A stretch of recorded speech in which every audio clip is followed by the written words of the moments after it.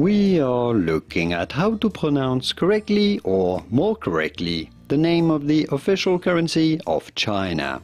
It is often mispronounced or mistakenly pronounced as yuan, yuan, and it'd be easy to think looking at the way it's spelled in our alphabet that it should be pronounced yuan, but that's not correct and it can actually be pronounced rather easily better than this.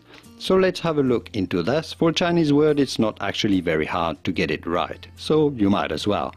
First of all, it's not the sound U initially, as in Y-O-U, U. It's not correct in Chinese, but rather the sound is more like U, like the German U, U, and like the French U as well, if you know your French. U rather than U, okay?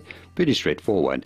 Secondly, it's not the sound an, as in an or as in ant, an ant, but rather an, as in en, like in the word and.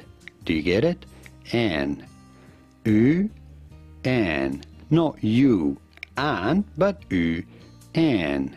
Overall, yuan, yuan. Pretty straightforward, right? Yuan rather than yuan. Does that make sense? Let me know in the comments. Here are more videos on how to pronounce the names of more currencies whose pronunciations aren't exactly obvious.